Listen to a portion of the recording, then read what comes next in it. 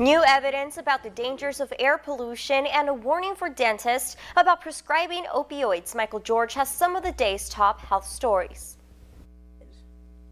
When dentists prescribe opioids to treat pain, they could be putting their patients at risk.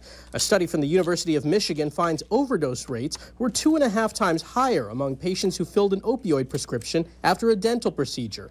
Researchers say painkillers like ibuprofen are usually an effective alternative. For patients with respiratory tract infections, research finds it's safe and effective to delay antibiotic treatment. A study in the BMJ tracked more than 55,000 patients. For those who delayed filling their prescriptions, symptoms were no more severe than for those who took antibiotics immediately. And children exposed to higher levels of air pollution may be more likely to show signs of mental illness by the time they're 18. A study at Duke University tracked thousands of young adults in the UK. Those with a higher exposure to traffic related air pollution had higher rates of mental health symptoms, including depression and anxiety. Those are some of the day's top health stories. Michael George, CBS News, New York.